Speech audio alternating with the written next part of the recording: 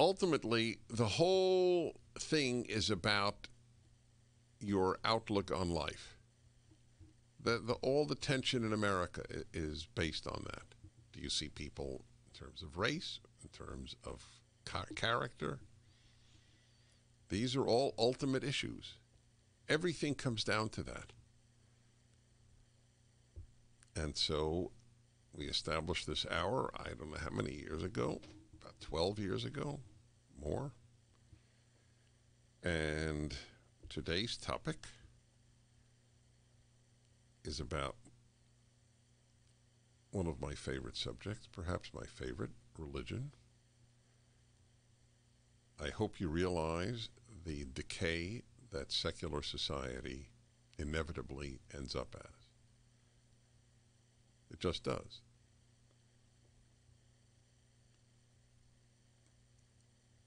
Not every secular person has rotten values, and not every religious person has great values. But we're talking about society, not every individual. If you talk about every individual, you can say nothing. You can't generalize at all, and then you have no wisdom. Wisdom rests on generalizations on correct generalizations, however. All whites are racist is a generalization, but it's a lie. So that's what matters a correct generalization. Anyway, given the staggering significance of religion, or as I have put it for years in speeches around the world, when Christianity died in Europe, we got fascism, communism, and Nazism. When it dies in America, what will we get? And I'm a Jew asking this. Well, we got last year almost a year of riots, of destruction, of mayhem.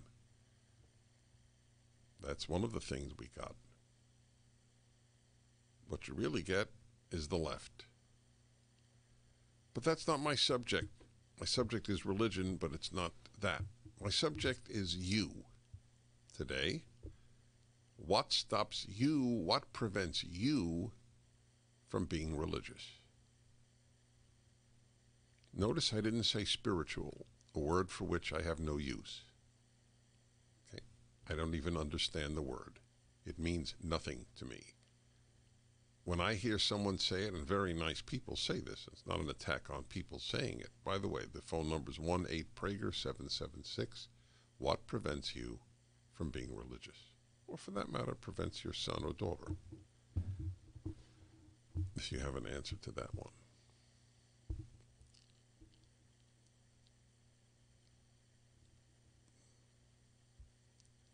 It's very important for me to confront that question because I would like you to be religious. Spiritual to me means I'm not religious, but I have some sense, I have a strong sense of the spiritual. But what does that mean? I'm not being cute. I don't even understand what that means you're not Christian, you're not Jewish. Uh, I'm talking about the Western world now, and but you're spiritual. Okay. Anyway, I don't know what it means. Nice people say it. My issue is not whether you're nice; it's whether society can survive. So I'm not asking what prevents you from being spiritual. I'm not even asking what prevents you from believing in God you can believe in God and not be religious. Religious means active in a religion. For the first time in American history, fewer than 50% of Americans are religious or go to church or synagogue on a weekly basis, whatever criterion you wish to choose. That's a uh, that's a significant demarcation in American history. So, one possible answer is I don't believe in God. Why would I be religious? I actually have an answer to that. Whether you believe in God or not, I think you should be religious. this is this goes so contrary to what most people think. I'm more, frankly, I'm more interested that you be religious than that you believe in God. I believe in God very, very strongly. But for your sake and the sake of society, I rather you be actively religious.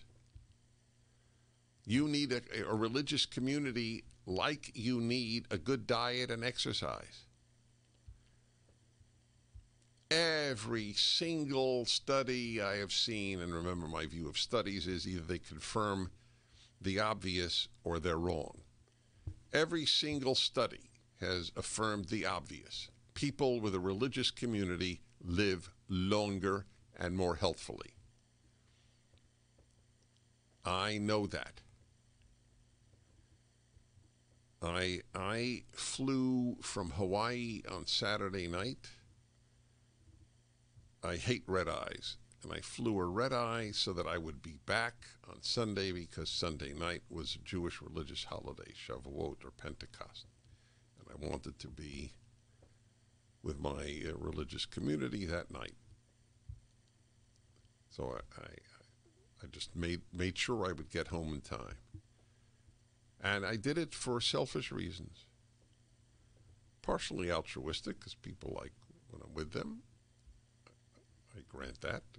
But it's mostly selfish. I need it. I need it every Friday night. I need it every Saturday. And I get it. So, my question is not what prevents you from believing in God, it's what prevents you from being religious. So I have an answer to you if your answer is because, well, Dennis, can't believe in God, so why am I going to be religious? I don't know. It's like saying to me, I can't read music. Why listen to Beethoven? You don't have to read music to love Beethoven. You, you, the, the, the benefits of great music are there. If you know you, if you don't know an F sharp from a C, it's irrelevant. Yes, you can get more out of it if you read music, obviously. But uh, it's a uh, it's a misconception.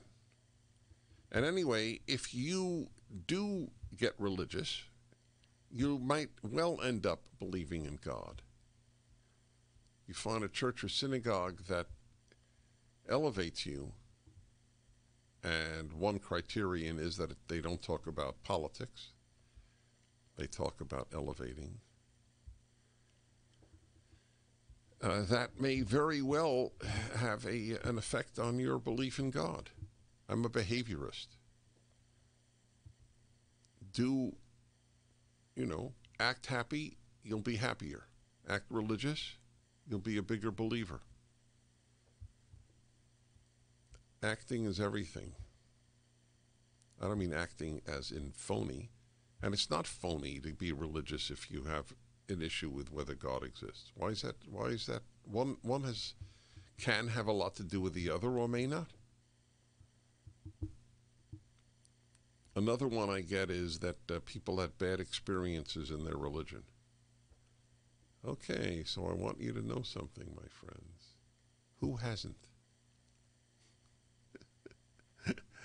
Who has not had bad experiences within their religion? Hey, I'm curious. Do you have any bad experiences in your secular life? Why does that prevent you from being secular? Bad experiences in religious life. Oh, my nun rapped my knuckles. Why would I continue in the Catholic Church? The rabbi, uh, I don't know, my rabbi had an affair. Oh, okay, now I get it. That's just that's just silly. I'll take your answers when we come back.